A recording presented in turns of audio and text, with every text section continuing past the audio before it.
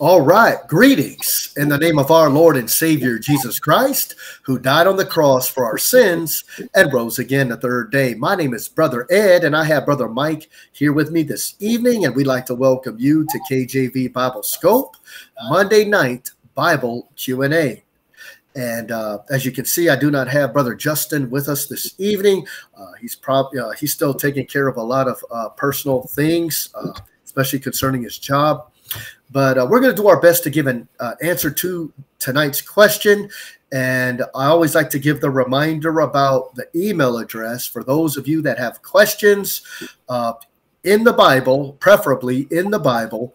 Uh, if you look on the bottom of your screen scrolling, uh, it'll say trust the Lord Jesus at gmail.com. That's trust the Lord Jesus at gmail.com. If you send your questions there, I will share them with Brother Mike and Brother Justin. If you know, Brother Justin can get on, uh, we'll sh- I'll share the question and we'll do our best to give you a Bible answer out of the good old King James Bible. Amen and we'll do our best to do that.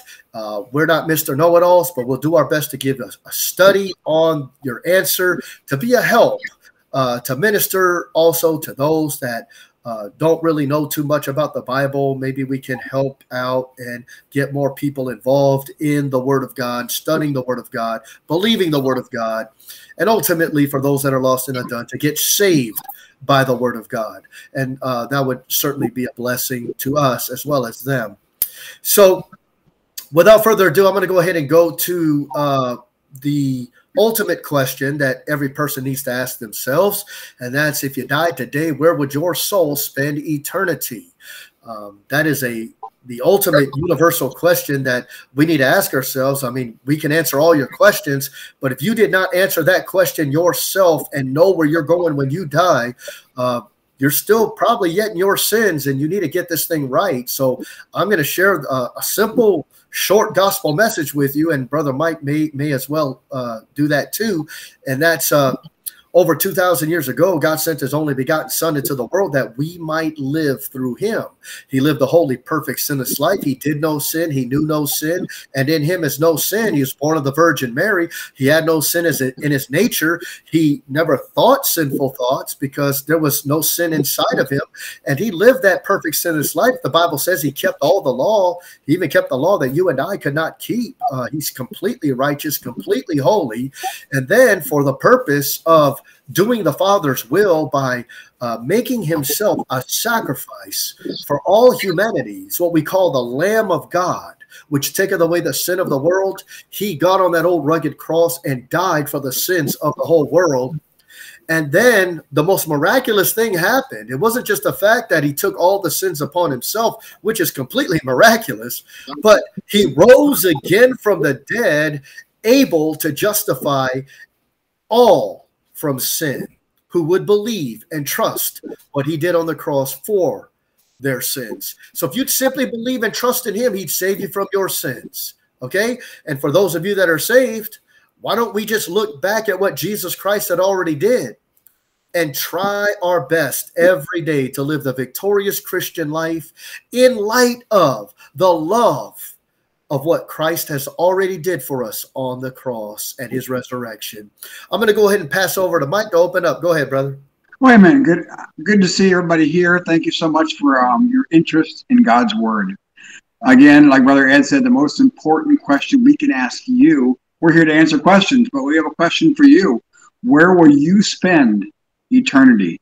And where you spend eternity is based on what you do with the truth of God's word. Jesus Christ is God, God manifest in the flesh, and Jesus Christ wants you to believe the gospel. The gospel is presented in First Corinthians chapter 15. I'm going to read the first couple verses to you. First Corinthians 15, verse 1. Moreover, brethren, I declare unto you the gospel, which I preached unto you, which also ye have received, and herein ye stand, by which ye also by which also ye are saved you're saved because of the gospel. If you keep remembering what I preached to you, unless you have believed in vain. For I delivered unto you first of all that which I also received, how that Christ died for our sins according to the scriptures, that he was buried, and he rose again the third day according to the scriptures. Jesus Christ did something no one else did. He defeated death. He defeated hell. He defeated sin in the grave. He walked out of that grave under his own power. No person has ever walked out of the grave by their own power. Lazarus walked out of the grave, but it was by Jesus' power. No other person, Muhammad, Buddha, Joseph Smith, the popes, they're still in the grave and they're not coming out by their own power. Jesus Christ had victory over sin, death, hell, and the grave. He wants to give that victory to you, but you have to repent of your sins and believe solely in his finished work on the cross. Amen. Appreciate that, Brother Mike. And uh, always a blessing. And let's go ahead. Uh, without further ado, we're going to go to the first question. And I'm going to go ahead and put that on the screen. Let's see if I can get it up there. There. Okay, there we go. It's right there. Now, uh, let me go and go to my notes. And I'm going to read you what I got as the first question here. And I don't mention any names, uh, as you guys know, uh, just so people don't think we're preaching at people that are asking the questions. Uh, a lot of times we we refute false doctrine, and we're not trying to say the people that ask the question believe all the false doctrine, but sometimes we'll have something in the question that deals with false doctrine, and we'll rebuke that false doctrine. A lot of times people end up getting the wrong idea that we're trying to rebuke the people asking the question. So that's why we don't we don't do that anymore because I did have a lot of people in the past, you know, tell me, you know, uh, brother Ed, you hurt my feelings because you were you're, you're yelling at me on the broadcast, you know, and I, and I really was, I, I really was, and Mike knows, Mike knows because you know we we do Q and A's in in in the mission and everything, and we I just speak to generally i just speak and i refute false doctrine and i don't want people to get the wrong impression. So if you see me get motivated if you see me get passionate if you see me uh, really get hyped up about refuting some false doctrine don't think i'm attacking anybody okay? I'm attacking the false doctrine. That's what i'm attacking okay? So hopefully you guys understand that and that's why i don't do the names anymore okay? So so there's so so let's go ahead. Um, i'm going to ask the question here and here it is. Hi, brothers. Thanks for taking my question. Jacob's ladder, John 151. Angels ascending and descending upon the Son of Man. What is the purpose for the angels ascending and descending from heaven to earth?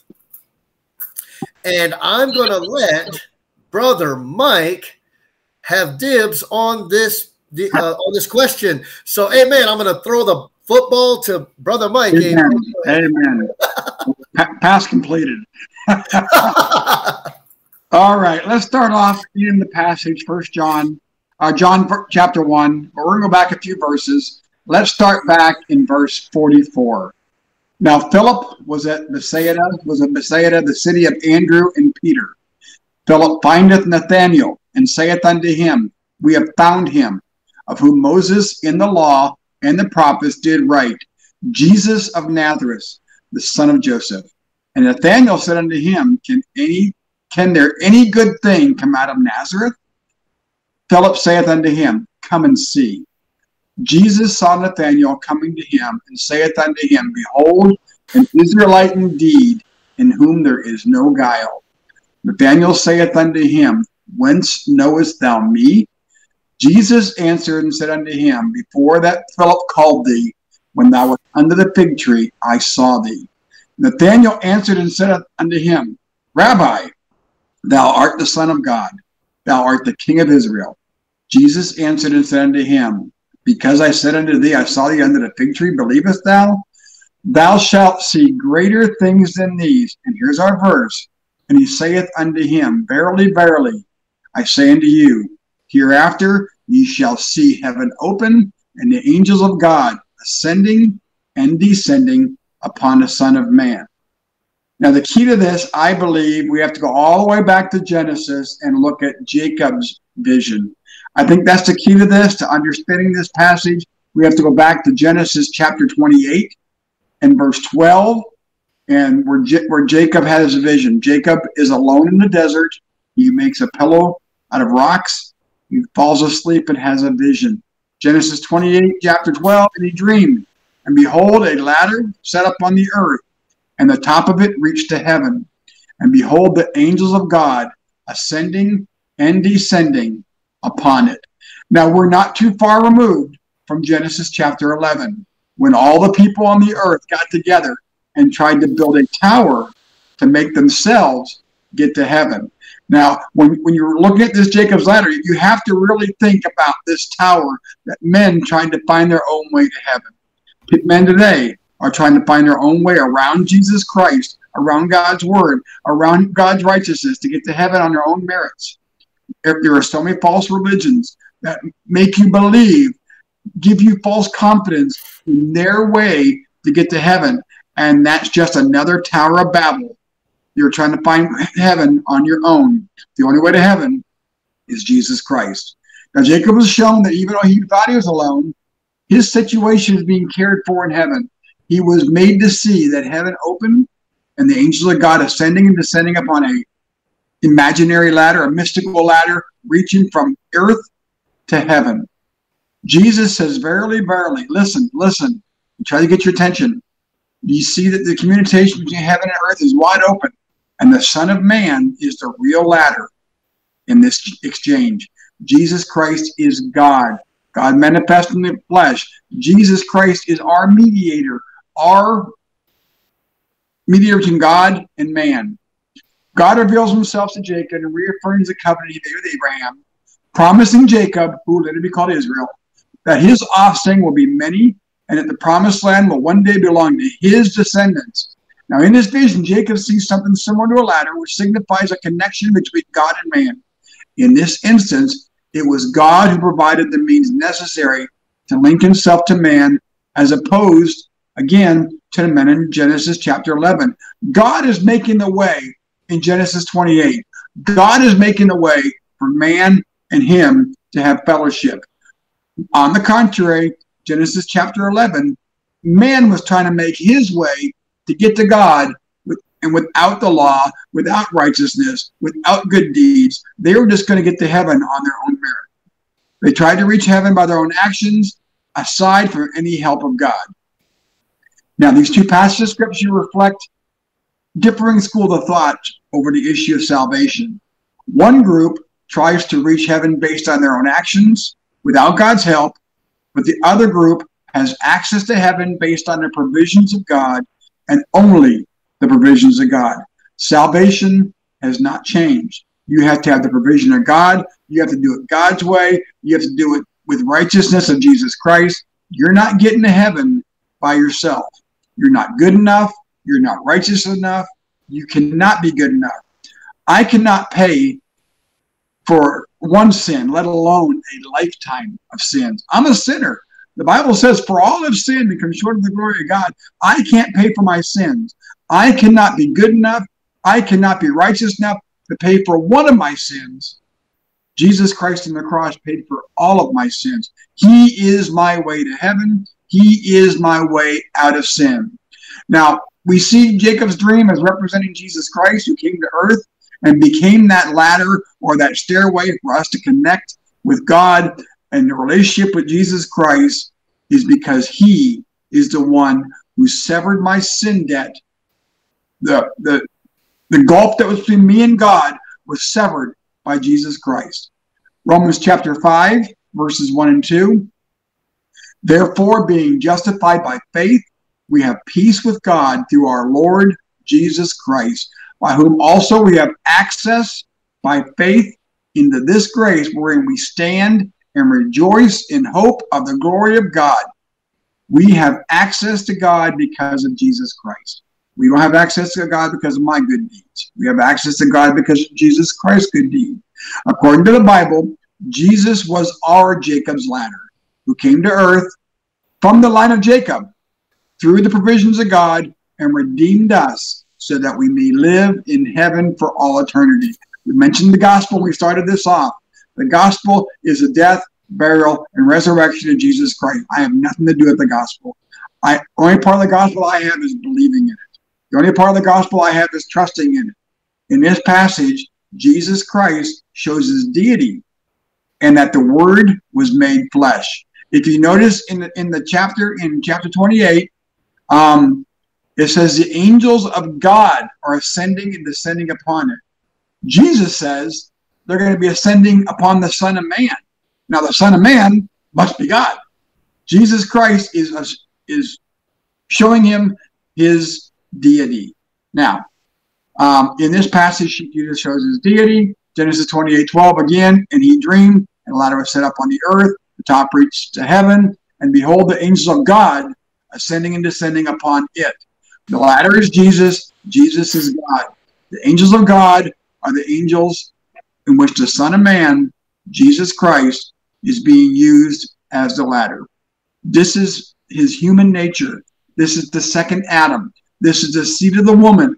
This is prophecy being fulfilled out of the mouth of Jesus Christ. Jesus is the only mediator who bridges the gap, who bridges the gap from heaven to earth. He is the one through which the fullness of all celestial blessings flows down to us. And through him, we in turn can ascend to God. I have boldness. I can enter the throne room of God through Jesus Christ. I have boldness to make my petitions to heaven through Jesus Christ. John 14, 6. Jesus Christ says unto him, I am the way, the truth, and the life. No man cometh unto the Father but by me. You're not going to build a Tower of Babel. You're not going to sneak up your own way. You're not going to find your own, own concoction to get yourself to heaven. Jesus Christ is the way. In the English language, the word the is a definite article. He is definitely the only way. 1 Timothy 2 5, for there is one God and one mediator between God and men, the man Christ Jesus. Jesus Christ is that mediator. He is that ladder. He is the bridge between me and heaven. He is the bridge between me and God. Hebrews 9:15 and for this cause he is the mediator of the New Testament that by means of death for the redemption of the transgressions that were under the first testament they which are called might receive the promise of eternal inheritance. It is because of the great mediator that we are able to stand before God clothed in his righteousness, not my righteousness. We are clothed in the righteousness of Christ himself. On the cross, Jesus Christ exchanged my sin his righteousness. Jesus Christ on the cross of Calvary was beaten. He was stabbed. He had a, a crown of thorns pressed into his head. He had his hands and his feet nailed. He did this for the joy that was set before him. And what was that joy that was set before him? That was me. That was you. Jesus Christ did that. Jesus Christ gave me his righteousness. Jesus Christ gave me his glory. Jesus Christ gave me a home in heaven. Jesus Christ gave me eternal life. And what did Jesus Christ get out of the deal? He got me. I get all the good stuff, and Jesus gets me. Jesus gained nothing in the picture. He went back to heaven, the exact same place he was before, the exact same worship he had before. The only thing different is now access to heaven is granted. The veil was torn in two. I have access to God the Father through Jesus Christ. First Corinthians, I'm sorry, Second Corinthians 5:21, for he hath made him to be sin for us. Amen. Who knew no sin. That we might be made the righteousness of God in him. Jesus Christ took my sin upon him. He knew no sin. And I get to put the righteousness of Jesus Christ on myself because I have accepted the only way to heaven. The ladder is Jesus Christ. He is the only means of salvation. So if you if you could combine these two passages, Genesis 28 and John 1, you can see that the, the vision that Jacob saw was just a, a vision of what's going to happen in the future. Jesus Christ is coming, and he is that ladder. He is the only way to heaven. My friend, if you're trusting in anything else to get yourself to heaven, if you're trusting in your family heritage, you're trusting in your pastor, you're trusting in money or your good deeds or water baptism, you're trusting in anything outside of Jesus Christ, my friend, you're lost on your way to hell. You've got to be trusting fully in Jesus Christ. He is the way, He is the truth. There's no truth outside of Him, and He is the light. No man cometh unto the Father but by Him. Brother Ed? Amen. Appreciate that, Brother Mike. Uh, great answer. Uh, you could have a lot of speculation on this particular answer. Uh, we can say a lot of different things, and maybe even have some principles in the Bible that we can go to and and kind of draw some you know some kind of conjecture out of that. But I always try to say to people, don't be so dogmatic about certain things because if you don't have a clear passage of scripture that specifically states something, you're, you're just you're just giving opinion, just like somebody else can give their opinion. And and this a lot of times people divide over these kind of things, and it's not good to divide over those kind of things, guys. I mean, uh, if you have a different opinion about that, that's fine. I mean, okay, if I would just tell you let's let's just be fully persuaded in our minds about the scriptures on the clear things that we can be clear about. And let's uh, fellowship on the blood of Christ and the cross work of Christ on the things we're not too sure about. um, people want to divide over everything. You got to some, with some people, you got to agree with everything, or they don't want to fellowship with you. It, it's crazy, guys. Um, Bible never teaches any of that. Okay, so we must be careful with how we handle the scriptures, and be careful with how you handle what you're going to base your fellowship on, too. Okay, so I think that's very important.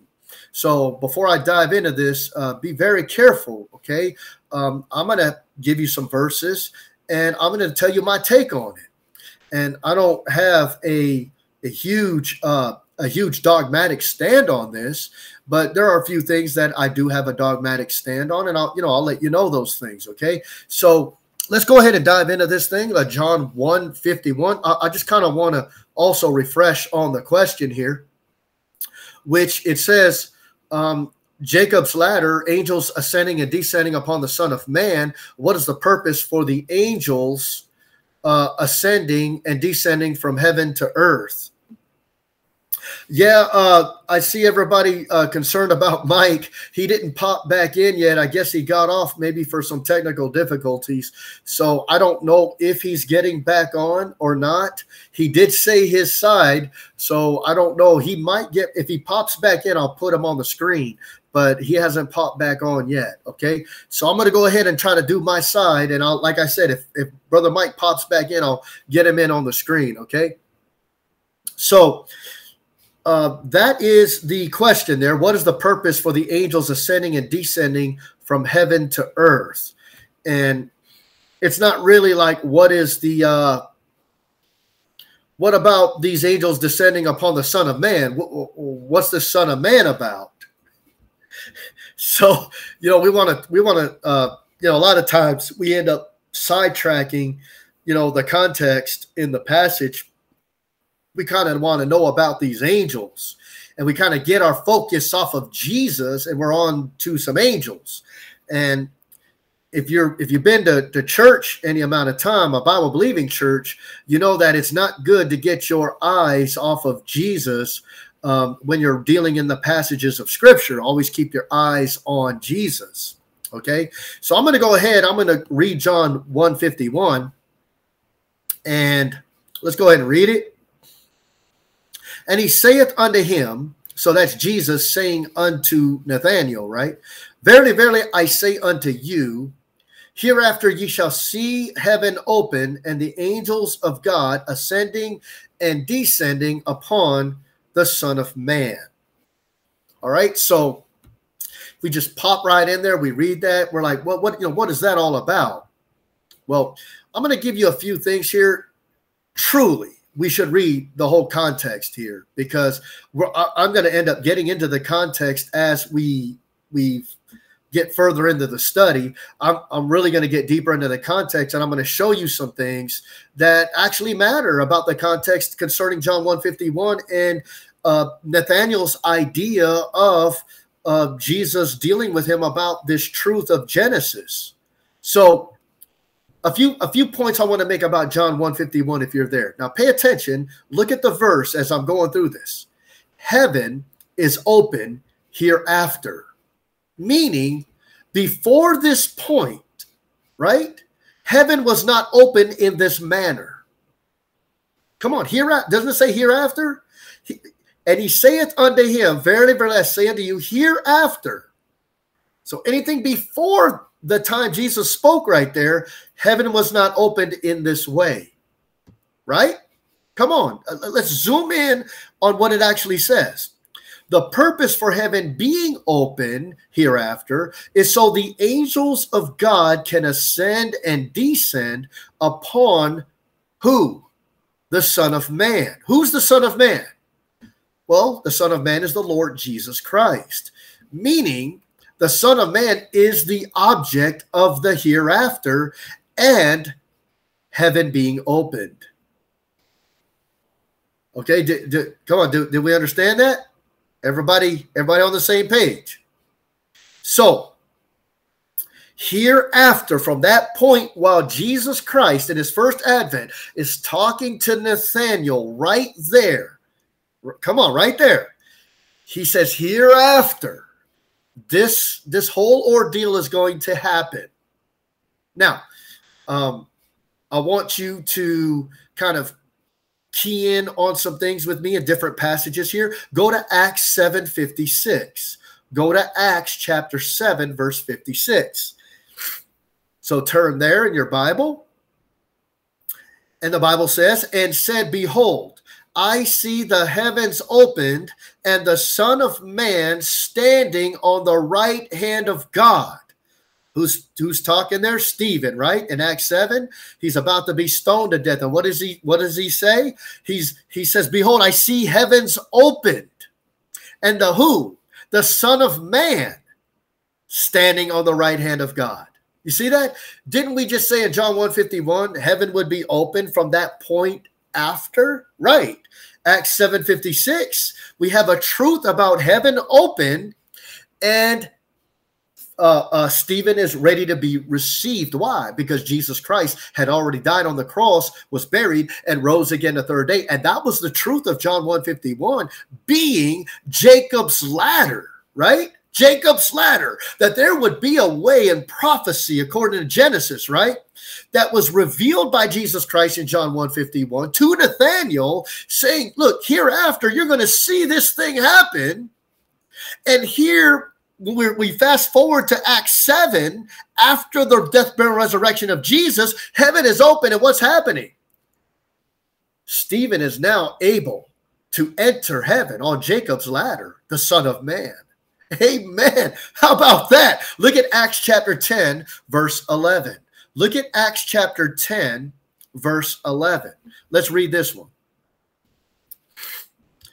and saw heaven opened and a certain vessel descending unto him, as it had been a great sheet knit at the four corners and let down to the earth. The only reason why I'm reading like kind of like partial scripture, I'm kind of in the middle of the context because I'm trying to show you the references that are referencing John 151. You know, heaven is opened, right? That's what I'm trying to show you there.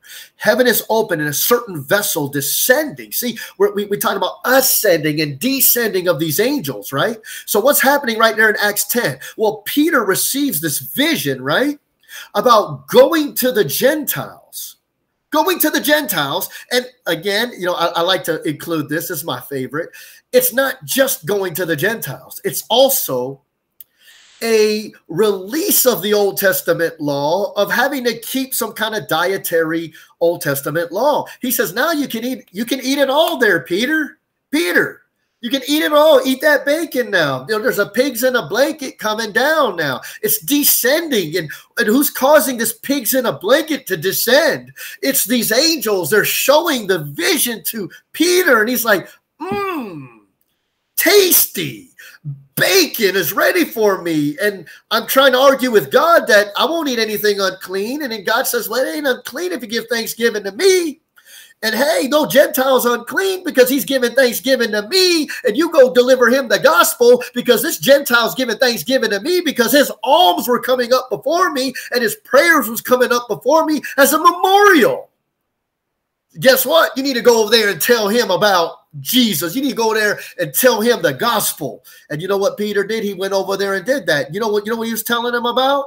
Jacob's ladder. He could have told he could have told Cornelius, "Hey, you know what? I had a vision about Jacob's ladder." That's literally what happened right there, right? Heavens were opened. Okay, now now look at Acts 14 27. Look at Acts 14 27. Look at this one. This is interesting. Acts 14 20. Remember, Jacob's ladder, he was talking about hereafter. This Jacob's ladder is going to happen. This whole Jesus Christ is the Son of Man. The ability to be able to reach God from earth happened solely through the Son of Man, the Lord Jesus Christ. Now look at Acts 14 27. And when they were come and had gathered the church together, they rehearsed all that God had done with them and how he had opened the door of faith unto the Gentiles. See, there's something opened here. Now, if he's opening up the door of faith unto the Gentiles, what is that telling you about heaven being opened and being able to ascend there? right? By the gospel, by the Son of Man, amen. Praise the Lord. Acts 14 27. Good, good reference for that. Now look at Revelation 4 1. Revelation chapter 4, verse 1. I want you to see this. So we did we dealt a little bit about a man, a disciple, getting stoned to death and looking up and saying, Wait a minute, how is heaven open and the Son of Man standing on the right hand of God? And he's able to go there because he's believed on the gospel. He's believed on the Son of Man and able to ascend now, not by his power, but by the power of the gospel, right? Absent from the body, present with the Lord. Why? Because you're in Christ, right? Acts 10 11, we saw that. You know, there was a heaven was open and then the vessel descending. Why? The heaven, the uh, the the vessel was descending to show that hey, these Gentiles can receive the gospel, right? So we're seeing all these aspects of heaven opened to Jews and Gentiles, right? And uh, Acts 14 27, we saw that. Now look at this is an interesting one in Revelation 4 1. Look at Revelation 4 1.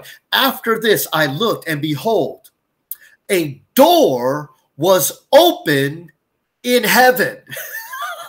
How about that for Jacob's ladder?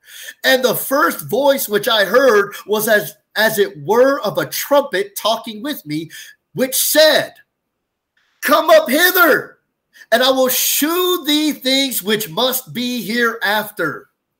You know, you know what? Jesus Christ made possible? Not only heaven being open for those that are lost and undone to get saved, and now they can go to heaven based upon the Son of Man and the gospel. But you know what? There's something even more important here as well. Those that are alive, that are in Christ and remain, can now be caught up together to meet the Lord in the air. And heaven is open because the Son of Man is there and we're going to meet him in the air. Amen. Glory to God. That's some great stuff, ain't it? Jacob's ladder. Jesus is waiting now on the top of the ladder for us. Amen. Man can now get to God. Amen. Praise the Lord. It's only through Jesus Christ, the Son of Man. All right. So then look at Revelation 19 11.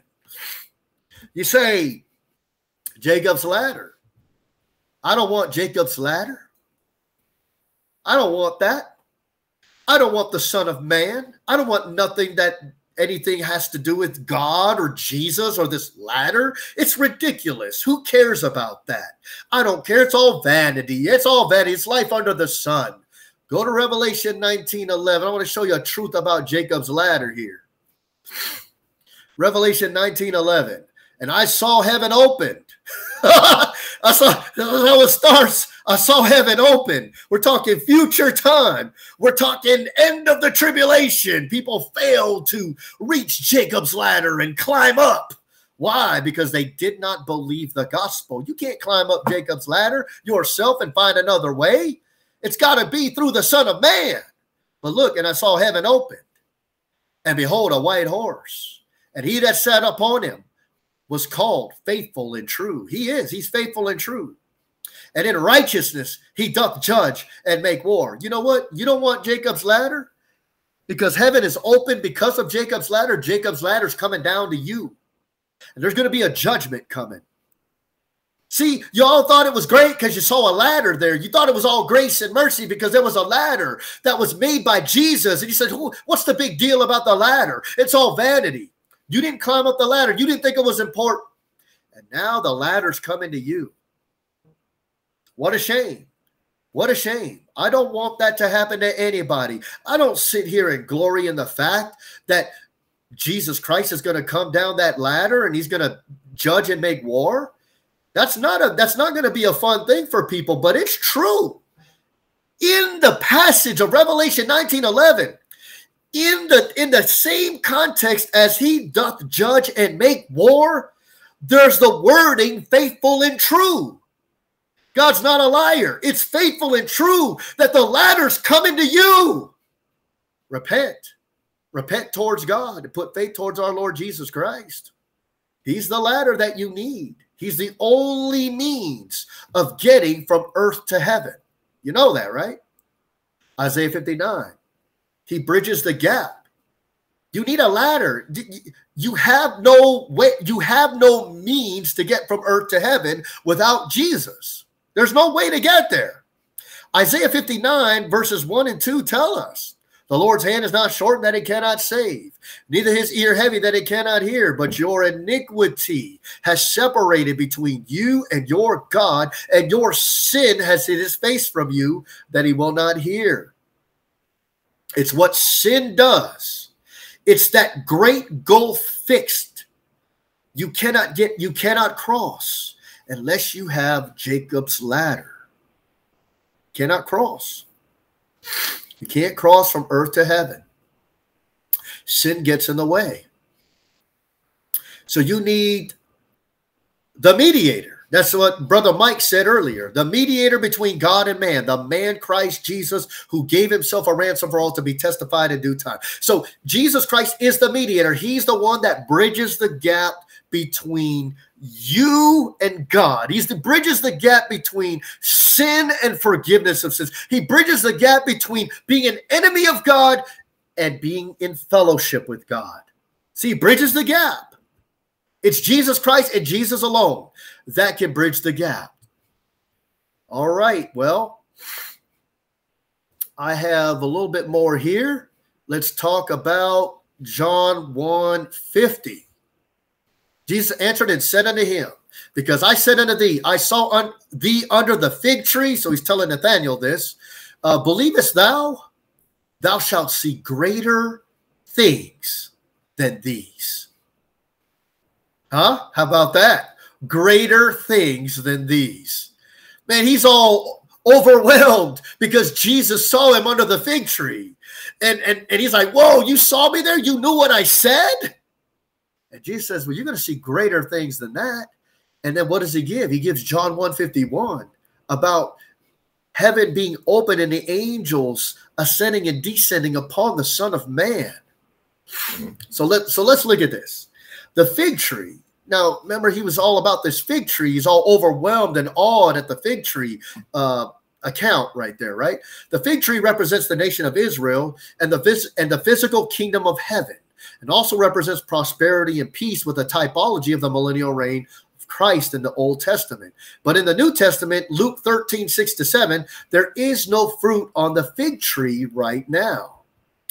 In Oh, let me scroll down a little bit. In Mark 8, 11, 18 to 21, Jesus had cursed the fig tree because it had no fruit and it withered away and was dried up from the roots. This is the nation of Israel's spiritual condition. In Matthew 13, 28, when the fig tree is tender and putteth forth leaves, is likened unto the Christ's second coming return. When Jesus tells Nathanael, Behold, an Israelite indeed, in whom is no guile.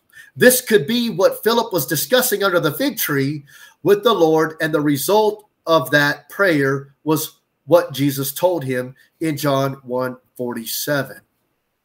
So I have references to the fig tree. Judges 9, 10 to 11, uh, being the nation of Israel. First Kings 425, Second Kings 1831, Proverbs 27, 18, Song of Solomon 213, Isaiah 34, 4, Isaiah 36, 16, Jeremiah 8, 13, Hosea 9, 10, and I have a whole bunch more. Then you have number two, the olive tree. Olive tree here we go again. The olive tree typifies Israel in covenant relation with God. You have the, the olive tree, Deuteronomy 24 20, Judges 9 8 to 9, 1 Kings 6 23, uh, Psalms 52 8, Isaiah 17 6, Isaiah 24 13, Jeremiah 11 16, Hosea 14 6, and many other passages. Number three, the vine tree. The vine tree is Israel was not supposed to be a corrupt vine. But that's what happened with the vine tree. They ended up becoming a corrupt vine. That's why in the book of John, you can read about Jesus is the true vine. See, it's in relation to Israel. See, in the oh, we got Mike here. Here, let me get him in there. So, um, so we have the uh the vine tree. Okay, so so we're doing the different trees. I'm trying to show you this for the context of John 1.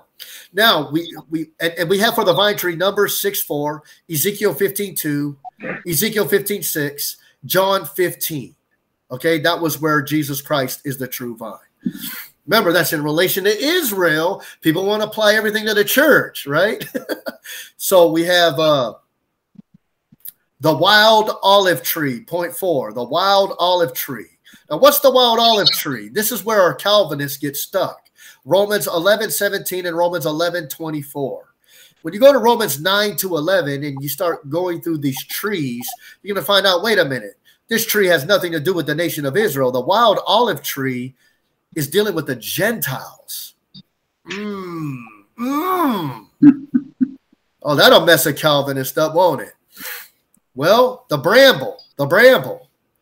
The bramble deals uh, in Judges 9:14 to 15, Luke 6:44, Isaiah 34 13, and that's also dealing with Gentiles. So the wild olive tree and the bramble, when you read about these trees, are mainly dealing with Gentiles. I don't find any reference to the nation of Israel with those trees. Okay. So why is that so important? Because remember, we were talking about the fig tree and and Nathanael earlier, right? In Matthew 13, 44, concerning the hid treasure. Remember, we have these, these parables, right? According to this parable, Jesus did not just die to save sinners. Now, why am I going to Matthew 13 instead of keeping it in John 1? Well, I'm trying to show you something really quick and just pay attention to this truth, and then you'll see where I'm going with it. So in Matthew 13, 44, concerning the hid treasure, remember there's a hid treasure. According to this parable, Jesus did not die, just die to save sinners, right? He died to purchase the field so that one day he could redeem and gather Israel from the dispersion and establish the kingdom promised to their fathers. See, there's more than one angle to look at the cross work of Christ. A lot of times we only look at it one way. and we we forget Israel. We forget the benefits that come from the cross work of Christ for the for the benefit of Israel. And we only go to ourselves in the church. God is not a liar. He's gonna he's gonna keep his promises to the nation of Israel. Okay, so very important that we're talking about this because remember in John one we're talking about Nathanael, right? Are we talking about Nathanael there? He was an Israelite indeed indeed an Israelite? Why do you say indeed the church? no, because there is a truth in the context concerning Israel in that whole de- descending and ascending upon the Son of Man and heaven being opened. All right, well, well, we did that. John 14, 12 dealing with the works after Christ has ascended in the believer. After Christ finished work on the cross and ascension, he can now indwell believers and have greater works through the believers than if he was in a single location at a period of time. Correct? Remember, he told Nathanael, Thou shalt see greater things than these. And when you look at John 151 and you got the church in view, Come on, if we if we just look at the church in view, not just Israel, but the church also in view, well, here we got a truth about something that's greater than what happened under the fig tree, correct? Christ in you, the hope of glory, Colossians 1:27. John 6:56, he dwelleth in me and I in him. Galatians 2:20, Christ liveth in me. First John 4, 4, greater is he that is in you and John 5:20 dealing with the works of Christ that the Father will work through Christ. So we saw we have greater works than these, right? So Genesis 28 12. I want you to pay attention to the wording here. Let's pay attention to some wording. Remember, this is our cross reference for John 151. And Brother Mike talked about this earlier. And Jacob, right? Jacob, look at Genesis 28 12. And he dreamed, and behold, a ladder set up on the earth, and the top of it reached to heaven. And behold, the angels of God ascending and descending upon it. And behold, the Lord stood above it and said, I am the Lord God of Abraham thy father, and the God of Isaac and the land, uh, Isaac, the land whereon thou liest, to thee will I give it, and to thy seed. You see that? What is the what is the whole prophecy here dealing with? Uh, uh, certainly, an Israelite should understand this because he's saying, I'm on top of this ladder and I'm looking down and I'm giving you this land. See, an Israelite indeed, you should understand this. I'm gonna I'm gonna be faithful to my promises. But you know what's you know when these promises are gonna happen? These promises are going to happen after Jesus already came and died on a cross and rose again the third day. And then if you go fast forward to the end of the tribulation, they're going to look upon Jesus, whom they have pierced. And, then, and that remnant of Israel is going to believe, and the whole house of Israel is going to go into the millennial kingdom. And God's going to say, Hey, you remember the prophecy that I told you about? The ascending and descending upon the Son of Man, and I'm looking down upon you, and I'm going to give you this land, and I kept my promise. Amen. and for the church, and for the church. Hey, the Son of Man's ascending and descending. How? How can I get to God? How can I be right with God? I got to get up on Jacob's ladder. And guess what? I'm going to come back with him to go to the millennial reign. And I say, How did I get there? By Jacob's ladder. See, there's a truth for Jew and Gentile. There's a truth for the kingdom of God and the kingdom of heaven. That's why you don't need to mix these things up and mess up the Bible. Very important. Very important. So let's look at a little bit more here. Got a little bit of time. Told you I want to spend a little bit of time on this. It's on earth, right? The ladder. It's on earth and its top reaches to heaven. It reaches from earth to heaven. And the angels of God ascend and descend upon it. And in John 151, Jesus said, I am Jacob's ladder. I am standing on earth and can reach to heaven. And you can get from earth to heaven through me. Amen. Jesus didn't say he would cleanse the lepers, walk on water, heal the sick, but he did say that Nathanael would see a way made from earth to heaven, and that's the great thing you're going to see. So, the greater things than these that he was talking about is Jesus making a way to reach heaven from earth. Amen. Amen. We talked about Isaiah 59, but uh, I'll just kind of uh, kind of lump sum some of this up. Isaiah 59, 1 and 2, Jesus is the ladder over the eternal separation from God because of sin.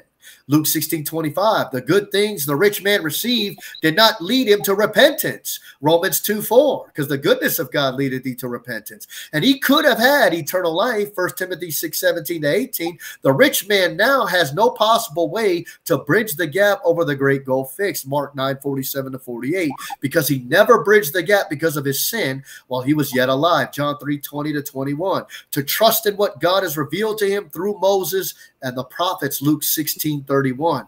And if he will not respond to the light given him through Moses and the prophets, then he will not trust in Christ, mm-hmm. Luke 16 31, though one be risen from the dead. So Genesis 1 2, even though God created all things good, Genesis 1 1, Genesis 1 4, Ecclesiastes 7 29, man has chosen to sin. See, they have sought out many inventions. Romans 5 12, Ecclesiastes 7 29 again. So man starts off without relationship and fellowship to God, and that relationship is without form and void, and darkness was upon the face of the deep of that relationship. Isaiah 59, 1 and 2, John 3, 19. But the only thing that will bridge the gap between man and God is the Spirit of God moving upon the face of the waters, John 7, 38. Out of his belly shall flow rivers of living water. And the only way that is possible is for you to believe the scriptures. John 5 39, search the scriptures, for in them you think you have eternal life. They are they which testify of me. John 16 8 to 11, right? So more cross references there. So check this out. This is pretty neat as a comparison. Look at Ephesians 2 1 to 3. I got to go, I got to be quick about this. And you had the quickened who were dead in trespasses and sins. Right? And I could go to verse 2 and verse 3, but we don't have time. Then, then comes Jacob's ladder, Ephesians 2 4 to 5. But God, who is rich in mercy, for his great love, wherein he loved us, even when we were dead in sins, has quickened us together with Christ. By grace ye are saved. Look, Amen from earth, Ephesians 2 11 to 12. Look at this one. Wherefore, remember that ye being in time past Gentiles in the flesh who were called uncircumcision by that which is called the circumcision in the flesh made by hands, and I could read verse 12, but then comes Jacob's ladder, Ephesians 2:13. But now in Christ Jesus, ye, ye who sometimes were afar off are made nigh by the blood of Christ, for he is our peace, who had made both one and broken down the middle wall of partition between us. And I could keep going. But then Titus 3 3, look at this one. Titus 3 3. For we ourselves also were sometimes foolish, disobedient, deceived, serving diverse lusts and pleasures, living in malice and envy, hateful and hating one another. But then comes Jacob's ladder, the next verse. But after that, the kindness and love of God our Savior toward man appeared, not by works of righteousness which we have done, but according to his mercy, he saved us. Look at Romans 5 6 to 7. We got to be quick about this. For when we were yet without strength in due time, Christ died for the ungodly. Then comes Jacob's ladder, Romans 5 8. But God commended his love towards us, and that while we were yet sinners, Christ died for us. Look at Luke 23 41. And we indeed justly, for we receive the due rewards of our deeds. But this man had done nothing amiss. Then comes Jacob's ladder, Luke 23 41. Oops, I'm sorry. Luke 23 42. And he said unto Jesus, Lord, remember me when thou comest into thy kingdom. And Jesus said unto him, Verily I say unto thee, today, today, today shalt thou be with me in paradise. Huh? Jacob's ladder, man? Come on, can anybody get hyped up about that? He didn't leave us without a ladder. He didn't leave us down here on earth to die in our own sin, to, to, to, to build our own ladder like Adam and Eve trying to build, build an apron out of fig leaves. Come on, guys. Jesus made a way. He made a way for all mankind to be forgiven of their sins. To be made a way for all man, all mankind to have eternal life. He made a way. He made a way. Amen. Amen. Hebrews 10 11. Hebrews 10 11. Then comes Jacob's ladder. Hebrews 10 12. Romans 3 20. Then comes Jacob's ladder. Romans 3 21 to 22. Romans 4 4. Then comes Jacob's ladder. Romans 4 5. So, the greater thing Nathanael will see is more than just Jesus seeing him under the fig tree, which pictures the nation of Israel and Nathanael under that tree. The greater thing Nathanael will see is getting out of being under the fig tree and taking his sins under the tree of life, where Jesus becomes the ladder from heaven, from earth to heaven. The greater thing Nathanael will see is that even though Jesus saw him under the fig tree, he will see Jesus on the old rugged tree, becoming the ladder from earth to heaven. How about that? Jesus greater than the temple. He's the ladder, Matthew 12, 6. Jesus greater than Solomon, Luke 11, 31. He's the ladder. Jesus greater than Jonah, Luke 11, 32. Jesus is the ladder. Jesus greater than John the Baptist, John 1, 30. He's the ladder. Jesus better than the angels, Hebrews 1, 4. He's the ladder. Jesus is better blessing. Hebrews 7 7, because he's the ladder. Jesus better than the law. Hebrews 7 19, he's the ladder. Jesus better than he's the better testament. Hebrews 7 22, he's the ladder. Jesus is the mediator of a better covenant. Hebrews 8 6, because he's the ladder. Jesus established better promises. Hebrews 8 6, because he's the ladder for Jew and Gentile. Jesus is the better sacrifice. Hebrews 9 23, Jesus is a better Jesus gives a better and enduring substance. Jesus, uh, that's Hebrews 10 34. Jesus can give a better country. Hebrews 11 16. Jesus is the better resurrection. Hebrews 11 35. Jesus provided some better thing for us. Hebrews 11 40. Jesus' covenant and blood speaks better things than that of Abel. Why?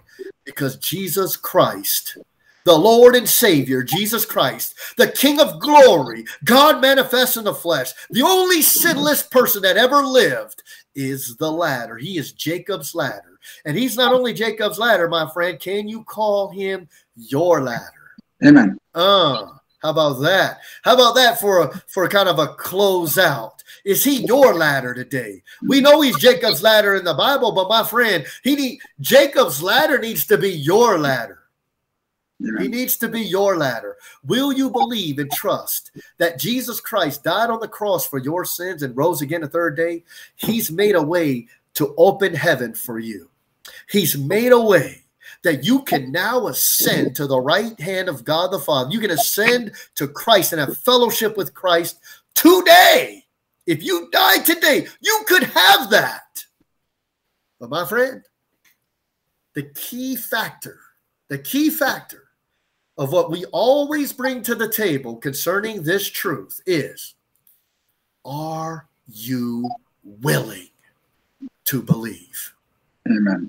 Are you willing to believe on Jesus Christ? He won't make you. He's the ladder's available. The ladder's there. It's not broken. It's it's it's made out of deity material. It's Jesus himself. You can trust when you get on the ladder, you're going to get where the ladder's destination will lead you.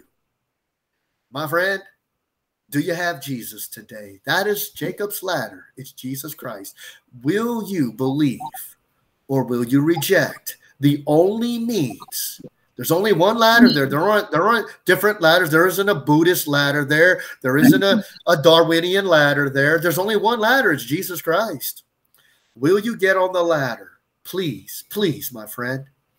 It's like a man. It's like a man uh, standing on the edge of a cliff with a blindfold on. I'm trying my best to stop him from taking one more step. But you know what? If he will not listen to me, you know, and, and I'm far away, I can't stop. If I'm far away, I can't stop him. I can't grab him and stop him.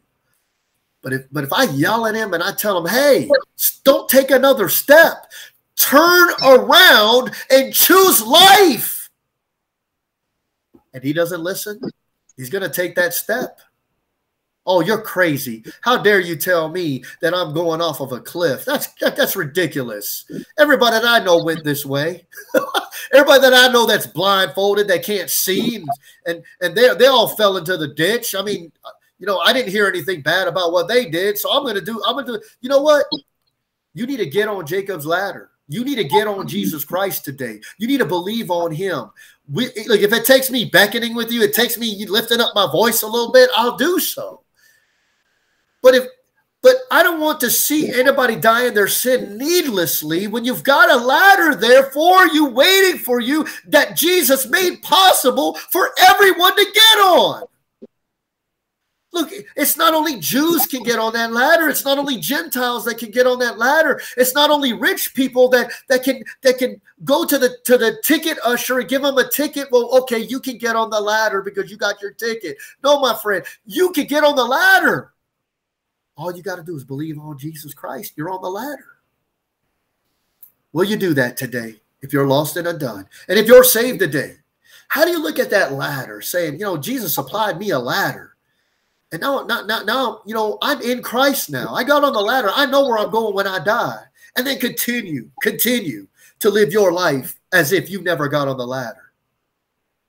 What, what kind of life is that? What, what kind of life? Come on, guys. We look back at the cross of Jesus. We look back at the Jacob's ladder. We say, why did I get on this ladder? I'm still living my life as if the ladder never existed. So get on the ladder, my friend. Get on the ladder, get saved. And then after you get saved, look back at that ladder say, I'm so thankful God supplied me with this ladder. He's so gracious. He's so merciful. The least I could do was live my is live my life for him each and every day and honor him because of the ladder that he gave to me. Amen. Well, praise the Lord. I'm going to end it there. I gave the gospel message right in my answer. So praise the Lord. I'm going to go ahead and uh, uh, that's my closeout. Ask more questions. We're running low on questions yeah. as well. Yeah. Um, ask more questions. I posted on Facebook all the questions we have left, including the one for tonight. Uh, but you can look at my post and read all the questions that we have left. It's not a lot, guys. So ask more questions if you would. It'd be a blessing. Uh, thank you, everybody, for your prayers for the ministry, prayers for me, uh, Brother Mike and Brother Justin to keep this thing going. We thank you. We thank you. We really do thank you for getting on and supporting this ministry. And I'm going to go ahead and let Brother Mike close out. Go ahead, brother. Amen. Well, that was good when I heard of it. I'm sorry I got knocked off for a bit there. Uh, blessing to get back on. The most important question: Are you saved? John, John chapter ten, verily, verse one. Verily, verily, I say unto you, he that entereth, entereth not by the door of the sheepfold, but climbeth up some other way, the same as a thief and a robber. Verse nine: I am the door. By me, if any man enter in, he shall be saved and go in and out and find pasture. Jesus Christ is the way, the truth, and the life. Jesus Christ is the door. You're not going to find another way.